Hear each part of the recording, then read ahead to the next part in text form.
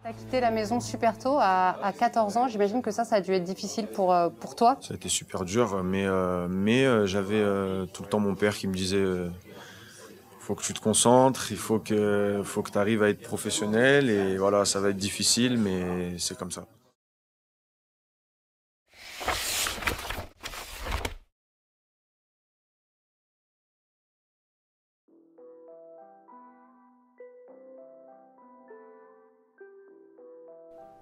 On te garde, mais on s'est posé beaucoup de questions sur ton cas.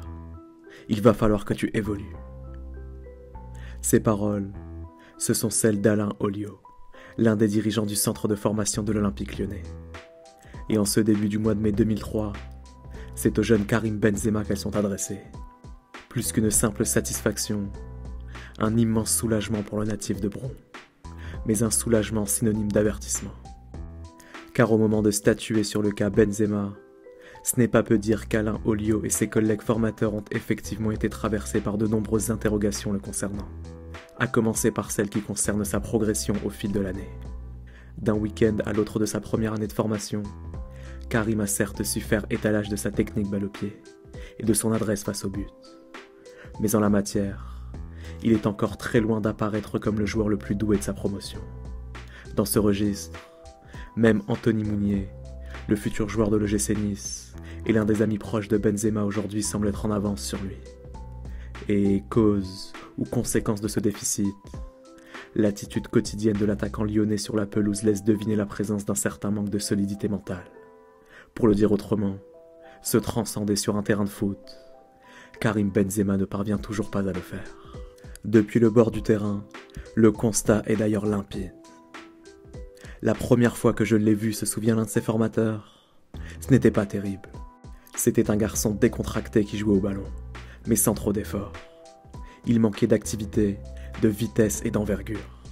Il était nécessaire de le secouer et de lui expliquer qu'il avait sûrement le potentiel pour devenir quelqu'un, mais qu'il fallait qu'il mette du sien. Dans le barème d'évaluation des dirigeants lyonnais, un autre critère a également failli coûter très cher aux futurs joueurs du Real, celui des résultats scolaires un critère extrasportif certes, mais qui, dans le livret de compétences d'un centre de formation aussi prestigieux que l'OL, a son importance. Qui plus est si l'on songe à l'infime pourcentage de réussite professionnelle des joueurs inscrits au centre de formation. Et à l'école, là encore, Benzema peine à exister. Rien de grave, certes. En classe, Karim est tout, sauf un mauvais garçon. Plutôt discret et respectueux mais force est d'admettre que les résultats scolaires ont du mal à suivre, à l'image par exemple des premières difficultés qu'il rencontre au sein du BEP Vente et Action Commerciale, entamé au sein du lycée professionnel Louise Labbé, dans le 7e arrondissement lyonnais. Toujours est-il que dans la perspective de la saison suivante, s'il souhaite poursuivre à l'OL, le fils Benzema va devoir se transformer, aussi bien sûr qu'en dehors du terrain. Une certitude d'ailleurs partagée par Afid, le père Benzema persuadé par exemple que pour y parvenir, son fils va devoir s'éloigner le plus possible du quartier et de toutes les tentations qui vont avec. Raison pour laquelle il insiste aussitôt auprès des dirigeants lyonnais pour les convaincre d'intégrer Karim derrière les murs de l'internat du centre de formation, loin de Bron et loin du quartier Terraillon, son quartier d'enfance. Après négociation, Monsieur Benzema finira d'ailleurs par obtenir gain de cause. Mais au-delà de l'internat, et au-delà des résultats scolaires. Karim va aussi et surtout devoir composer avec la concurrence grandissante au sein du centre de formation. Car déjà, tous les entraîneurs de l'OL n'ont Dieu que pour un seul et unique joueur. Un certain Atem Ben Arfa, tout droit venu de l'INF Clairefontaine.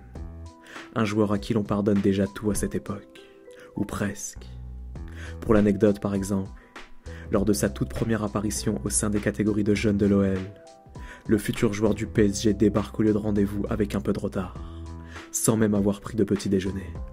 De quoi susciter l'inquiétude des entraîneurs lyonnais ce jour-là, qui aussitôt se dépêchent d'aller commander chez le boulanger du coin quelques croissants tout chauds, exclusivement dédiés au petit prince Ben Arfa.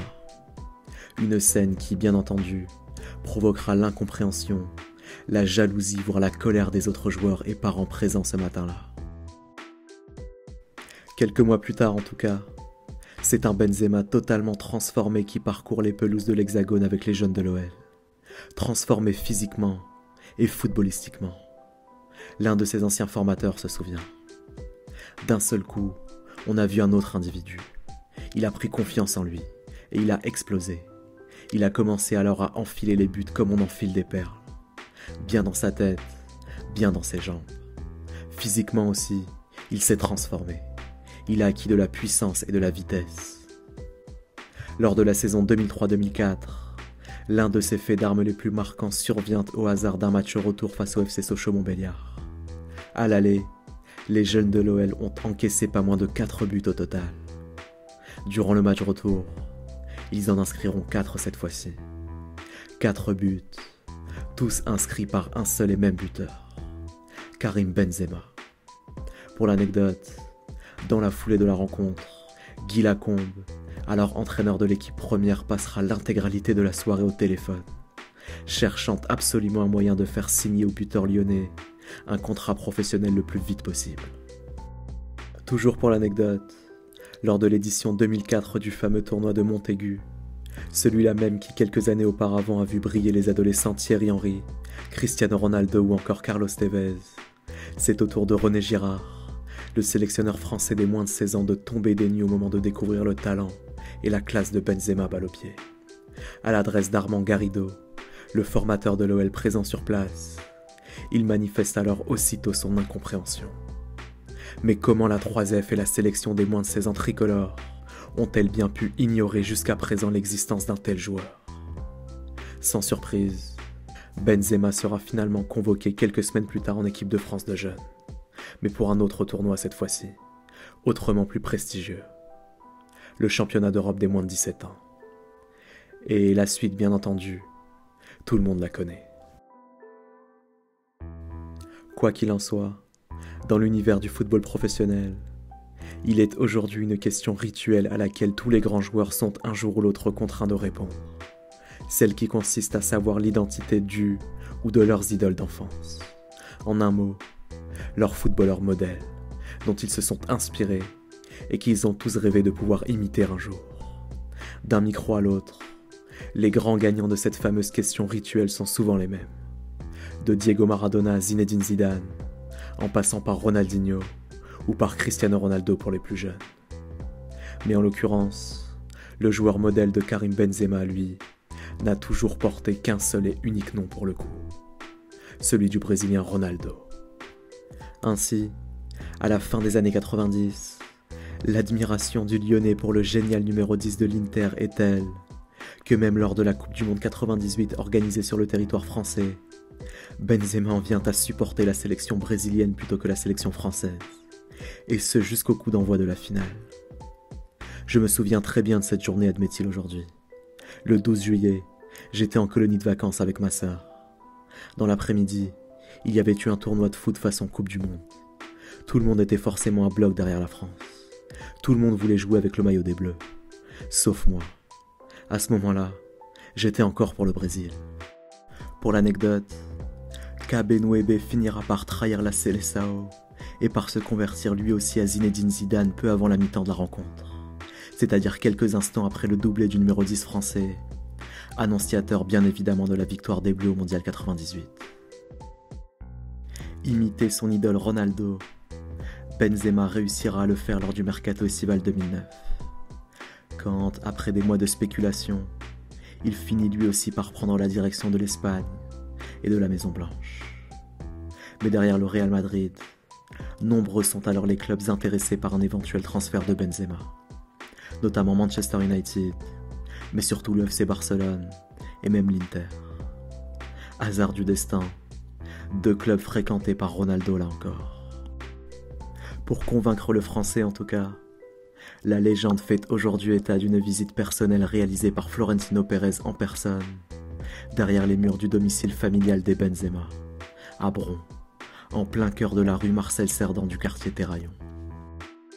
Et toujours d'après la légende, une visite familiale qui se serait conclue par une dégustation collective de Coca-Cola, à laquelle Florentino Pérez aurait d'ailleurs pris part, histoire de trinquer et de fêter dignement la venue prochaine du jeune lyonnais au Real Madrid.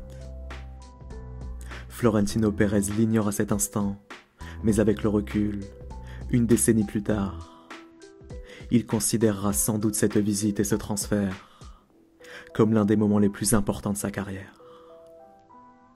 Car plus qu'un simple transfert pour le Real et pour Karim Benzema, les prémices d'une carrière extraordinaire, celle d'un géant.